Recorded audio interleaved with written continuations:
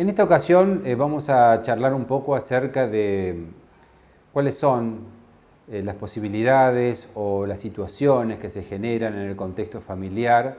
cuando transitamos con un familiar, con un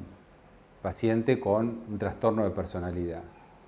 Eh, hemos hablado en varias emisiones sobre lo que son los trastornos de la personalidad, qué pasa cuando la personalidad enferma,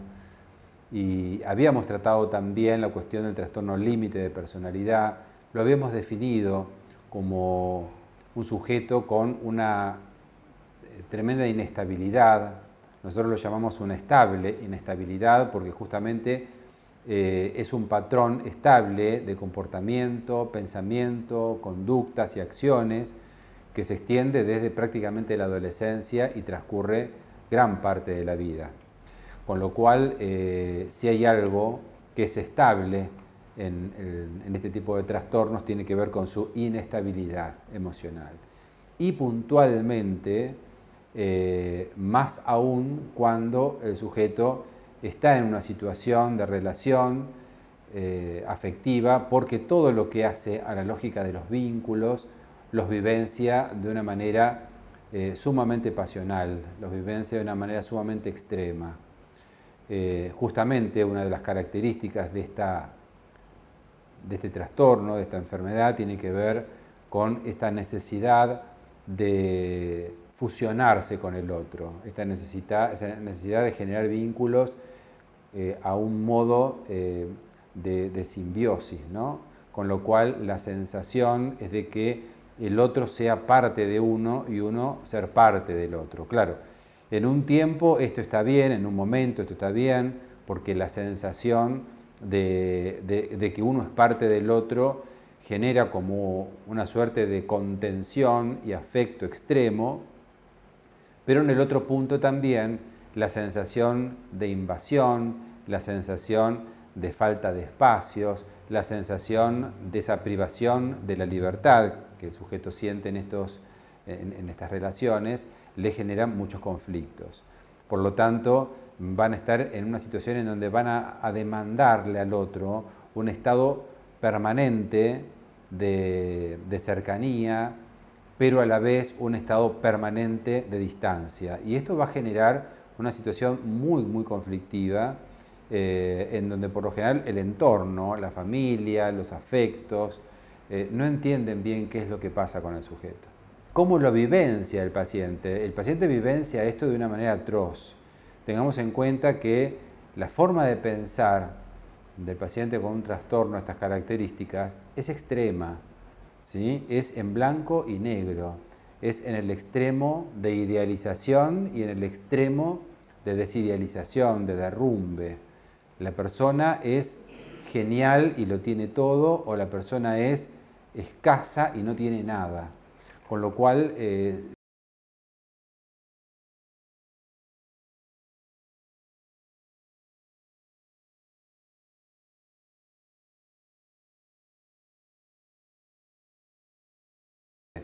pensar en extremos, con lo cual siempre tenemos que pensar que el sujeto con este cuadro o está en un extremo o está en el otro, o, está afectivo, amoroso y necesitado de nuestro amor, o está enojado, está tenso, está distante, está triste, o quiere vivir y ama la vida, o quiere morir y genera acciones directamente ligadas a las autolesiones, vivencia las angustias y vivencia el dolor emocional a un nivel eh, tan alto que no hay defensa, no hay, no hay mecanismo de defensa que pueda sostener psíquicamente ese vacío y frente a esta situación muchas veces aparece la autolesión,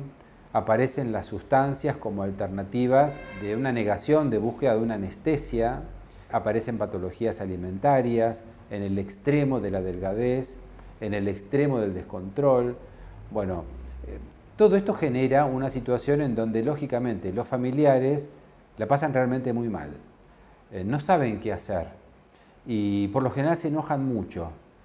Eh, esos enojos terminan generando más conflicto y se genera eh, una situación de inestabilidad familiar en cuanto a los vínculos familiares que desestabiliza más al paciente.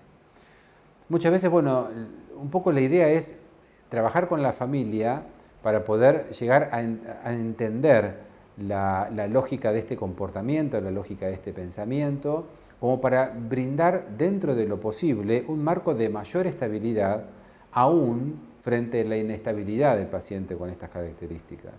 Es fundamental generar una, una suerte de comprensión, de estabilidad, de una eh, adecuada distancia, ni demasiado cerca ni demasiado lejos. Si estamos un poquito lejos, eh, el, paciente lo va a vivenciar como un abandono, si estamos demasiado cerca, el paciente lo va a vivenciar como una invasión, con lo cual tenemos que encontrar el momento y la distancia adecuada para a partir de ahí empezar a generar con este paciente algo del orden de una contención, por hay que tener en cuenta que sufren, padecen mucho, son pacientes que padecen mucho su, personalidad, con lo cual eh, muchas veces, fíjense que estos pacientes tienen tratamientos eh, no solamente psicoterapéuticos, sino también psicofarmacológicos, eh, muchas veces son pacientes que están muy medicados, Em, justamente como para generar una estabilidad que frente a, un desborde emocional el paciente no corra riesgos. Hay que tener en cuenta que son pacientes que tienen un alto índice de, autolesiones, un alto índice también de suicidio, con lo cual son pacientes de cuidar. Y hay que estar ahí, hay que estar al pendiente, em, pero sobre todo cuando aparece alguna relación amorosa, alguna relación afectiva, un, vínculo, pues, más atención todavía, porque más allá de que es en el mejor momento, parece que todo se soluciona cuando aparece alguien en la vida de una persona con estas características, inmediatamente a la vez empiezan a padecer esa relación, porque empiezan a sentir el temor real o fantasiado de un abandono, empiezan a sentir que no los quieren, empiezan a sentir que no se quieren, se empiezan a ver feos, se empiezan a ver mal a sí mismo, esto lo proyectan al otro y generan situaciones de muchísima tensión en las relaciones. Así que es muy importante en este, en este tipo de situaciones la contención y la comprensión familiar que, que permita un marco de estabilidad a partir del cual bueno, se puedan llegar a contener o se puedan aceitar mecanismos de comunicación dentro de los equipos terapéuticos, que, la familia tenga directa relación y comunicación con el psicólogo o con el médico a los fines de hacer algún tipo de movimiento rápido de, de psicofármaco o movimiento rápido a nivel terapéutico. El terapeuta tiene que ser un terapeuta que esté sabiendo trabajar con este tipo de cuadros, porque acá vamos a tener que trabajar mucho en, emergencia, vamos a tener que trabajar mucho en la urgencia, muchas veces vamos a tener que ver al paciente en horarios y días que no son los pautados, justamente porque hace también a una necesidad que trasciende la posibilidad,